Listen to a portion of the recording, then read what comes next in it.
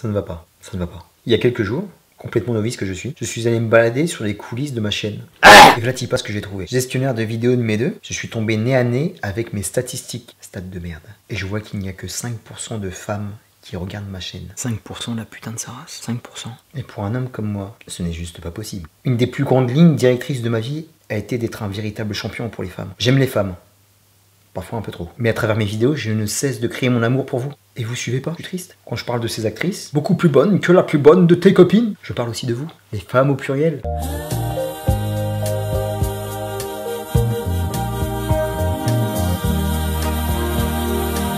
Alors j'ai choisi une vidéo spécialement pour vous, mes princesses. Je vous aime. Les poilus, vous pouvez rester. Partez pas, il y a de la cuisse. Messieurs, dames, le bonjour. Aujourd'hui, nous allons parlementer, blablater, susurrer de la manière la plus sensuelle possible sur la série Big Little Lies. Gros petit mensonge? On change un peu d'ambiance. Pas une série HBO à laquelle je ne jette pas un œil. Obligé. C'est sans doute les bestes en la matière. Pas besoin de synopsis, de poster, de bonne annonce.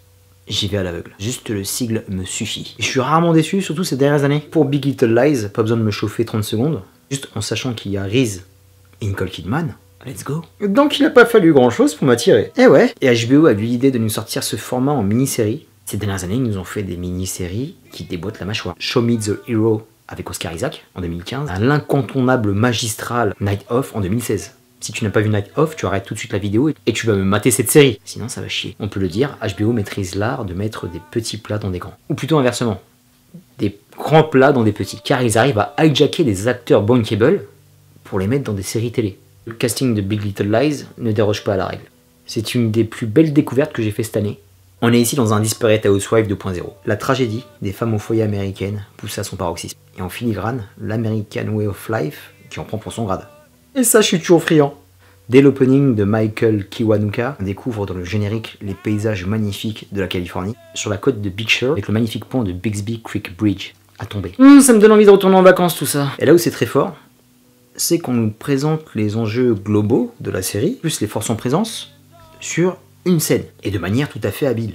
C'est la fameuse scène qui se passe dans l'école. Une scène tout à fait anodine, de vie quotidienne, mais on comprend rapidement le rapport de force. Là, je suis ébahi, je dis bravo. Entre le générique, l'introduction et cette scène, on peut ressentir le malaise qui va peser tout au long de la série. Parce que c'est quand même assez oppressant. Et comme d'habitude, avec HBO, ce genre de shows qui sont très bien écrits, on va assister à une montée en puissance qui va complètement nous étouffer. Cinéma, cette année, entre les films et les séries, j'ai vraiment manqué l'oxygène. Et là où c'est très fort, c'est qu'on a une réalisation XXL. Les 7 épisodes une plastique sublime. Chaque personnage nous est mis à nu, et on ne nous demande pas de comprendre leur choix, tantôt ils sont mis en valeur, d'autres fois ils sont mis en position de faiblesse, d'autres fois elles se comportent comme des garces, et tout est schizophrénique, on ne sait pas sur quel pied jongler, on ne sait pas ce qui va se passer.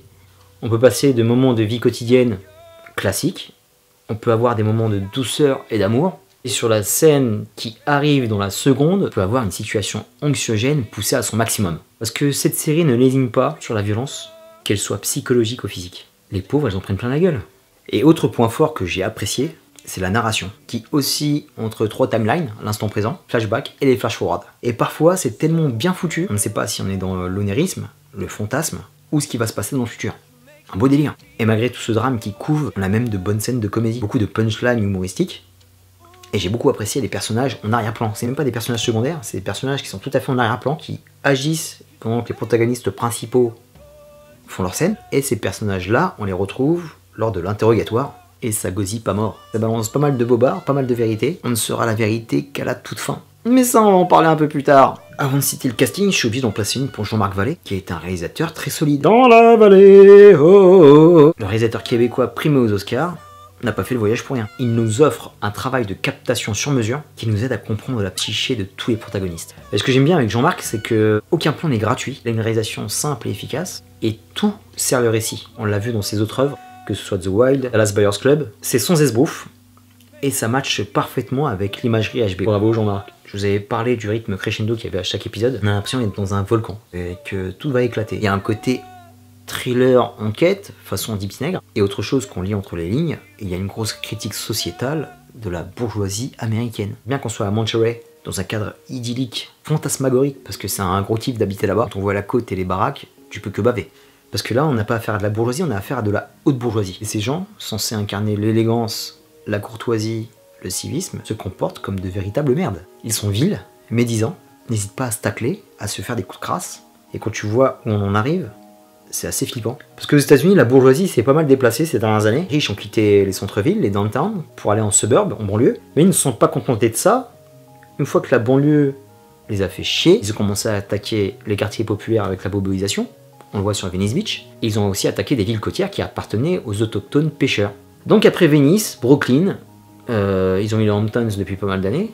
Et là, ils se font à peu près toute la belle côte californienne. Donc en fait, ça change complètement les enjeux sociologiques de ces villes. Et ils se sont tout appropriés. Ils peuvent influencer la politique publique de la ville, les programmes éducatifs des différentes écoles de leurs enfants. Et ils se sont construits comme ça de véritables Éden, où ils font un peu la pluie et le beau temps. Mais même en se créant des paradis terrestres avec, on va dire, 90% de sécurité, tu as beau être riche, la merde peut t'arriver. À tout le monde Et t'auras beau la planquer sous ton tapis de velours, on la verra quand même tout ou tard. Et c'est ce qui se passe avec Big Little Lies. Shit's happen. Le vernis est bien propre, mais finit petit à petit par s'effilocher. On nous finit un drame bourgeois bien crade. Et bien crasseux, hein et là où le message est très fort, c'est que ça met à mal l'entre-soi des riches, qui vivent complètement en autarcie. Entre les secrets qui s'accumulent, la parano qui existe et des gros problèmes d'ordre psychologique, t'auras beau avoir des milliards, tu restes un être humain comme un autre. La minute sociologique du pauvre se termine ici. Le casting, j'ai envie de créditer en premier les superbes paysages de Californie. Je kiffe le cadre dans lequel se passe la série. La ville de Monterey est magnifique. Paysages côtiers, les criques. Je trouvais ça splendide. Entre la beauté des paysages et toute la crasse qu'il y a derrière, ça donne un sublime contraste qui est superbement bien placé. Vous allez kiffer, c'est ultra télégénique, une petite saveur de vacances. Et ça, ça fait du bien. Je sais même plus si on doit les présenter ou pas. Trois monstres d'actrices fabuleuses, bien que j'ai envie de mentionner. Et là, j'insiste. Si vous lui filez pas un Emmy, je fais un carnage, C'est peut-être le plus beau rôle où je l'ai vu. Ici, elle est splendide. Il n'y a pas une réplique ratée. Il n'y a pas un, regard caméra qui trompe pas ouf. Elle est fantastique. Elle a un rôle super difficile. T'as envie de la cajoler.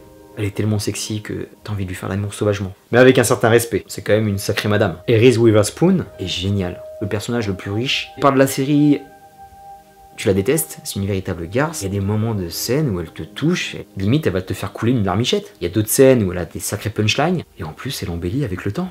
C'est devenu une mifle tout à fait désirable. Avec toi, c'est sauvagerie totale. En quiz, avec toi, je suis prêt à mouiller le maillot plusieurs fois dans la même nuit. Je pense qu'on peut s'arracher les cheveux tous les deux. Et j'ai une sacrée tignasse. Et une qui est toujours excellente aussi, Shailene Woodley, qui a fait un bon bonhomme de chemin au cinéma. Elle joue la caution de la maman monoparentale, la maman esselée, qui est pleine de dignité et de courage. Elle a une superbe relation avec son fils, qui lui aussi est un excellent acteur. Le petit qui joue Ziggy est complètement bluffé. Pour revenir à elle, sa prestation est impeccable. J'apprécie beaucoup son physique de Girl Next Door, qui contraste avec le reste du casting. Et le casting homme n'est pas en reste, il y a toujours l'excellent Adam Scott, et celui qui crève l'écran côté mec, c'est Alexander Skarsgård de True Blood, la légende de Tarzan, que je n'ai toujours pas vu et je suis pas très motivé. excellent quoi. Le mec il est à 100% dans son personnage. Elle a toujours sublimissime Laura Dern, une actrice de légende, qui a joué dans Sailor et Lula en fait. Et attention, au niveau du casting, ça va bénoler. Alerte furoncle Zoé, qu'est-ce que je fous là? Kravitz. Cette meuf-là, je ne m'explique pas pourquoi elle a autant de plans au cinéma. Parce que je la trouve pas du tout crédible en tant qu'actrice. Comment cette nana peut avoir autant de plans? Alors elle doit avoir un agent surpuissant pour passer de Mad Max à X-Men, arriver dans ce genre de série HBO, c'est papa qui te pistonne. J'y arrive pas. Alors peut-être que c'est personnel parce que je l'ai vue toute petite, on est backstage du concert de papa, elle était au bord de la scène, j'arrive pas à m'y faire ça passe pas. Un physique de gamine de 15 piges, quoi. Et sincèrement, elle fait tâche aux côtés des quatre autres. Elle n'a rien à foutre là. Ce n'est pas le personnage qui compte le plus. lui donner autant de crédibilité, parlons peu, parlons bien, sexuelle, lui donner autant de crédibilité, entre guillemets, de nana cool, ça passe pas. Je veux pas dire qu'elle m'a gâché le plaisir, parce que la série passe bien et n'a pas non plus un milliard de dialogues. Donc Zoé, message pour toi. C'est un nom franc et massif. T'aurais dû laisser la place à maman, qui aurait fait le taf bien mieux que toi. J'en doute pas un instant. En plus, je l'ai vu dans Red Novan et Red Road. Maman a encore du level. Elle, ça lui correspondait. Mais toi, va faire de la sitcom euh, pour ado, quoi. Pour conclure, c'est une série que je vous conseille bigrement. Il n'y a aucune rature. À part peut-être la petite Zoé. Mais bon, je t'en veux même pas. Les autres actrices sont tellement fortes qu'elles arrivent à gommer la petite contrariété que tu étais à mon égard. Mais sans rancune, parce qu'on non plus. Réalisation au plus que parfait. Distribution 5 étoiles. Bon son magnifique et un message d'amour pour toutes les femmes. Donc là, si je veux un auditoire nana, je peux pas faire mieux. Il me faut de la femme. Série qui te marquera. Terminus pour Big Little Lies. Je te dis à très bientôt pour une prochaine vidéo. Un gros bisou à toutes les femmes. Et aussi aux mecs, j'espère que vous étiez quand même dans le coin, parce qu'on a besoin d'être tous ensemble. La parité, c'est important. C'était Ruben des Bois Chronicles. Peace. Don't lie to me!